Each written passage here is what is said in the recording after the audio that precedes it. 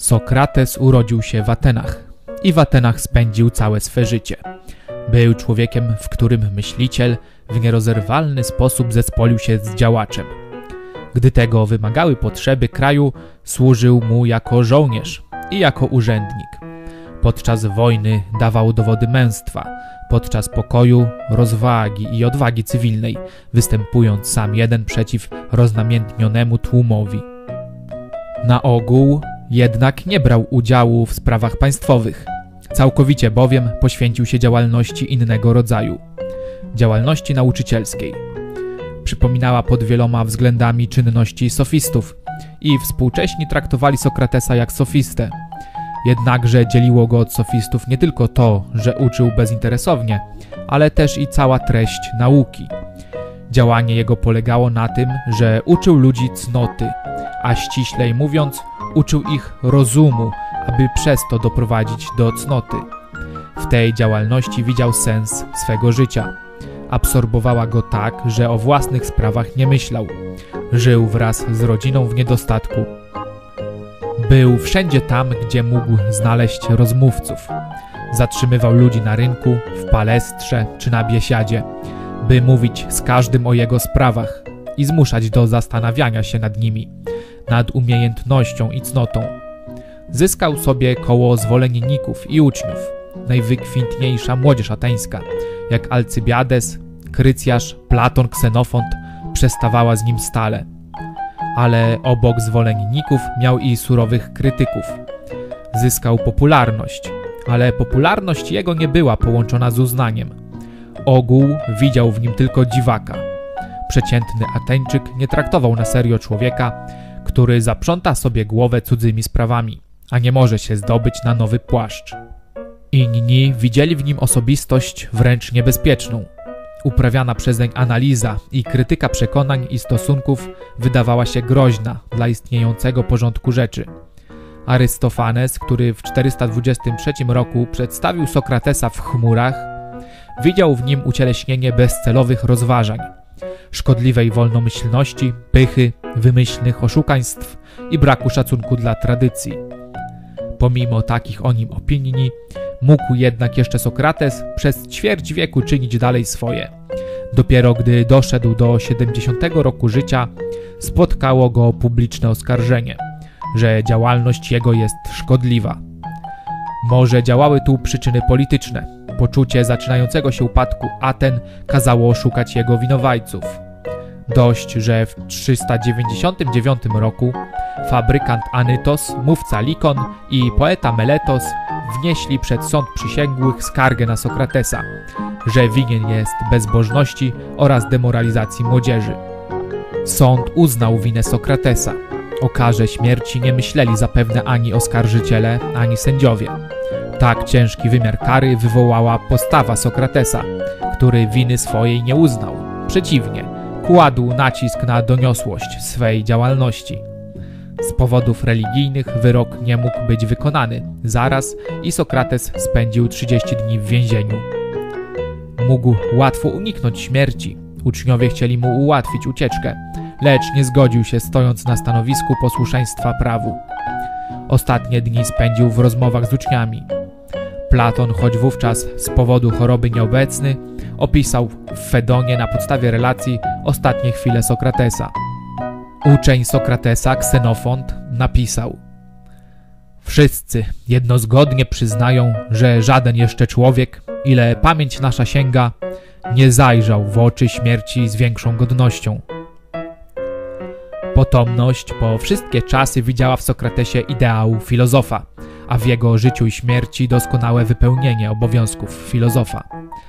Chłodny umysł łączył się w nim w przedziwny sposób z gorącym sercem. Silna, raczej zmysłowa natura była opanowana przez silną duszę. Brzydota przysłowiowa jego postaci była jakby symbolem wyższości ducha. Cechowała go równość i pogoda usposobienia, humor i łagodność. Wydawał mi się najlepszym i najszczęśliwszym z ludzi, pisał Ksenofont. Sokrates uczył tylko ustnie. O nauce jego wiemy z pism uczniów, głównie z dialogów Platona i wspomnień o Sokratesie Ksenofonta. Również i Arystoteles informuje o jego zasługach dla filozofii. Sokrates, podobnie jak sofiści i większość ludzi jego epoki, zajmował się tylko człowiekiem. Mówił, że drzewa niczego nie mogą go nauczyć, uczą natomiast ludzie w mieście. I pracował na dwóch tylko polach: na polu etyki oraz logiki, którą uważał za niezbędną dla etyki. Poglądy etyczne Sokratesa dadzą się sformułować w trzech głównych tezach. Cnota jest dobrem bezwzględnym.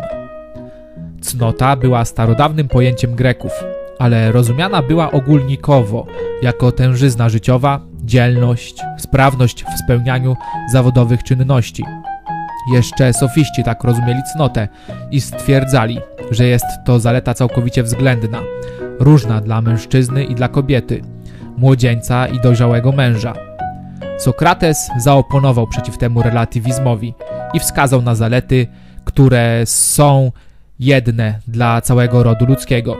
Sprawiedliwość, odwaga czy panowanie nad sobą są zaletami zawsze i wszędzie.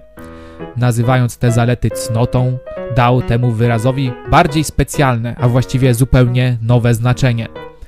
Wytworzył nowe pojęcie cnoty przez to, że spośród zalet człowieka wyodrębnił specjalnie zalety moralne.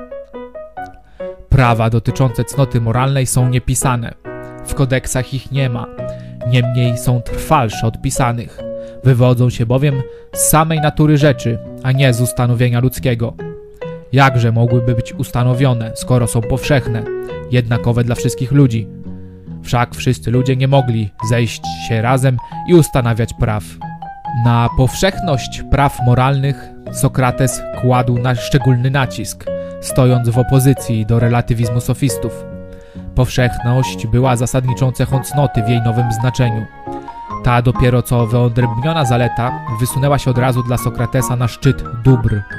Wszystko inne, co ludzie zwykli uważać za dobro, zdrowie, bogactwo, sława, niejednokrotnie w skutkach okazuje się złe. Człowiek powinien zabiegać o dobro najwyższe, nie licząc się nawet z niebezpieczeństwami i śmiercią. Dla dóbr moralnych powinien poświęcić dobra niższe i pozorne. Czyż nie wstydzisz się dbać o pieniądze, sławę, zaszczyty, a nie o rozum, prawdę i o to, by dusza stała się najlepsza? Sokrates był tedy pierwszym, który wyróżnił dobra moralne, właściwy przedmiot etyki. Za to nazwano go twórcą etyki, a także był pierwszym przedstawicielem stanowiska, nazwijmy je moralizmem, wynoszącego dobra moralne ponad wszystko inne. Cnota wiąże się z pożytkiem i szczęściem. Sokrates mawiał, że rad by posłać do piekieł tego, kto pierwszy rozdzielił dobro i pożytek. Ale związek obu widział nie w tym, iż dobro zależne jest od pożytku, lecz przeciwnie, iż pożytek zależny jest od dobra. Tylko to, co dobre, jest naprawdę pożyteczne. Ludzie dlatego często błądzą i działają wbrew własnemu pożytkowi, że nie wiedzą, co jest dobre. Sokrates był tedy przeciwieństwem utylitarysty, ale stojąc na stanowisku nierozdzielności dobra i pożytku, często wyrażał się tak samo jak utylitaryści. Twierdził, że czyn jest niezawodnie dobry, gdy wypływa zeń pożytek, a, a zalecając sprawiedliwość czy lojalność, wysiłek w pracy czy kompetencje w zawodzie, powoływał się na płynącą stąd korzyść. A podobnie rozumiał również stosunek dobra do szczęścia. Szczęście związane jest z cnotą, bo z cnoty wynika. Szczęśliwy jest bowiem ten, kto posiada największe dobra, a największym dobrem jest cnota. Cnota jest wiedzą. Wszelkie zło pochodzi z nieświadomości. Nikt umyślnie i z świadomością zła nie czyni. I nie może być inaczej.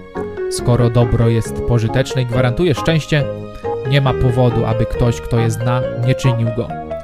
Wiedza jest wtedy warunkiem dostatecznym cnoty, a mówiąc językiem jaskrawym, jakiego Sokrates używał, jest tym samym co cnota. Na zarzut, że w działaniach ludzkich nieraz przejawia się rozdźwięk między wiedzą a czynem, między tym, co dyktuje rozum, a tym, do czego pcha namiętność, że do cnoty oprócz wiedzy potrzebna jest jeszcze wola, na to Sokrates odpowiedziałby, że jeśli wiedza nie wystarcza do cnoty, to musi być powierzchowna i niezupełna. Kto natomiast posiada wiedzę prawdziwą i pełną, ten nie może nie przejąć się nią do głębi i nie może czynić inaczej niż dobrze. Wiedza potrzebna do cnoty jest oczywiście innego rodzaju niż ta, którą zbierali filozofowie greccy.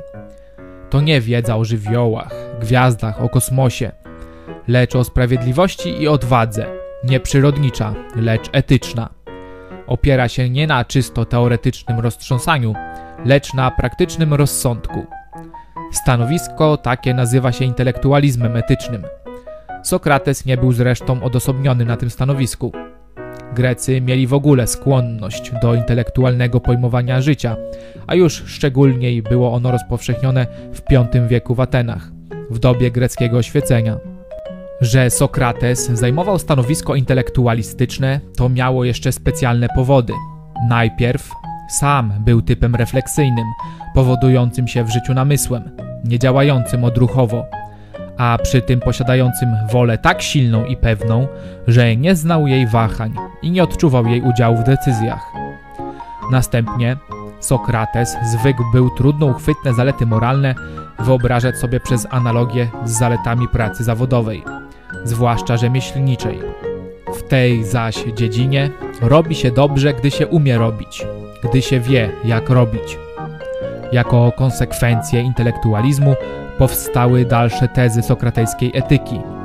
Najpierw, że cnoty można się uczyć, boć cnota jest wiedzą, a wiedzy można się uczyć. Była to teza doniosła. Wielkie dobro, jakim jest cnota, nie jest wrodzone. Można je nabyć. Przeto od nas samych zależy, czy dobro to posiadamy. Następną konsekwencją było, że cnota jest jedna. Sprawiedliwość była zdefiniowana jako wiedza o tym, co się komu należy. Pobożność jako wiedza o bogach. Odwaga jako wiedza o tym, czego należy się bać.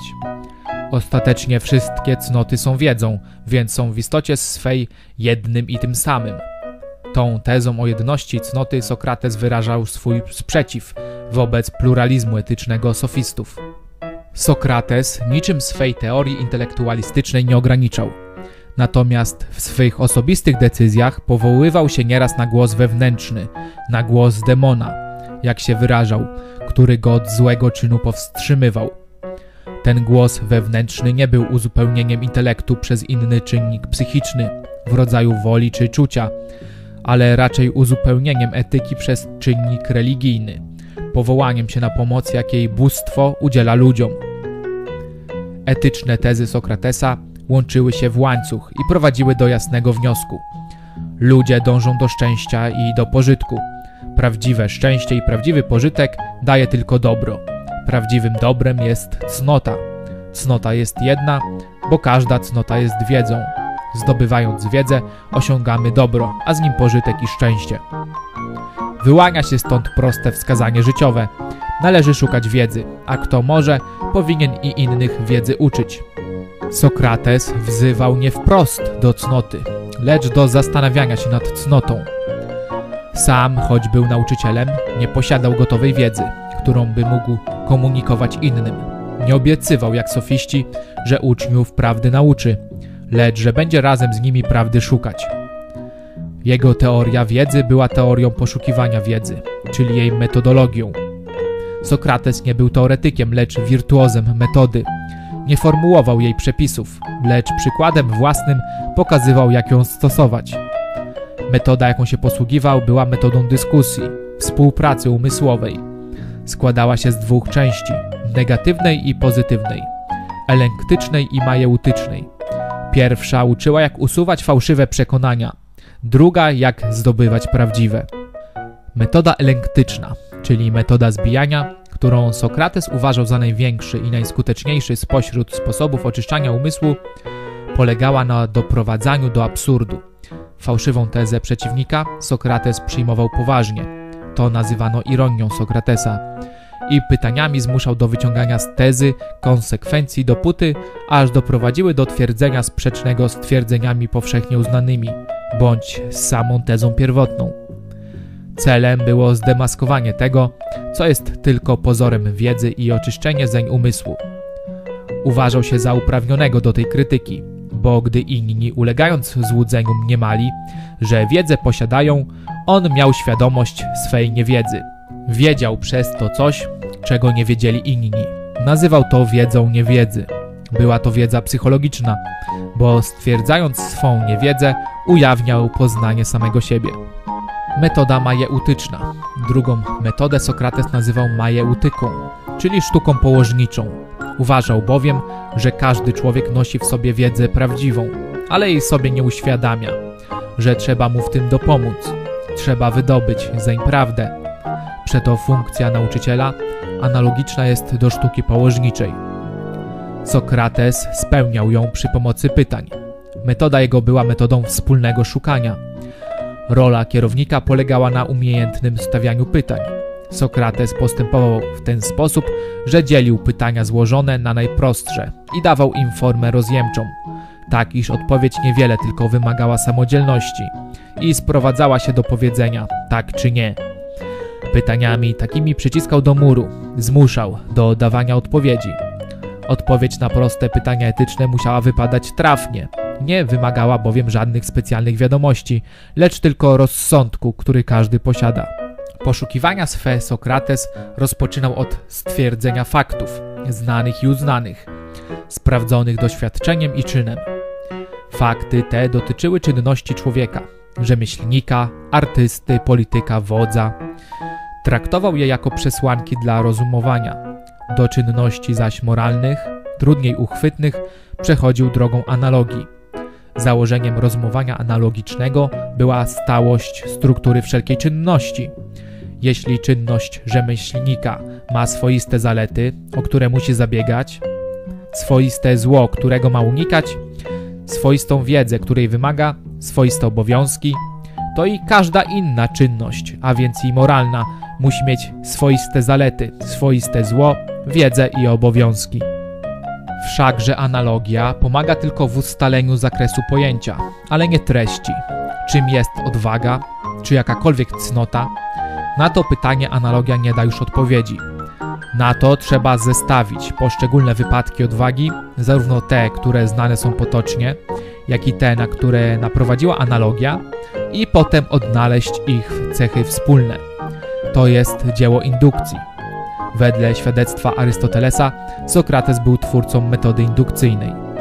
Sokrates szukał ogólnych cech odwagi czy sprawiedliwości na to, by ustalić, czym jest odwaga i czym jest sprawiedliwość. Miał przekonanie, że w takim indukcyjnie zdobytym pojęciu ma wiedzę pewną i powszechną, wbrew sofistom, którzy nie umieli wyjść poza relatywizm. Aby zaś mieć pojęcie, trzeba je zdefiniować. Kto w rozmowie z nim poruszał jakiś temat, on nawracał zawsze do definicji. Chwalisz kogoś za sprawiedliwość? To powiedz, czy wiesz, co to znaczy sprawiedliwość.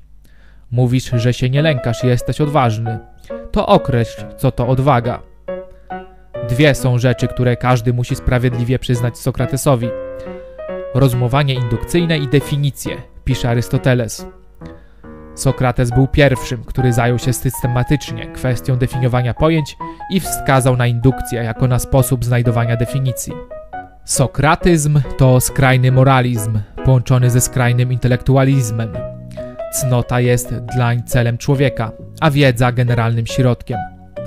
Wiedzę pojmuje jako pojęciową, a sposób tworzenia pojęć widzi w indukcji.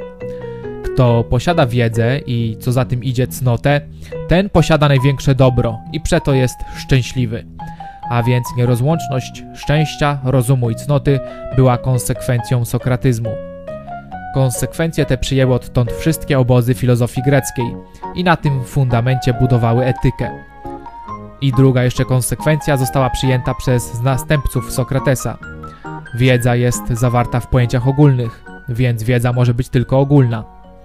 Na tym znów fundamencie następne stulecia budowały teorię poznania.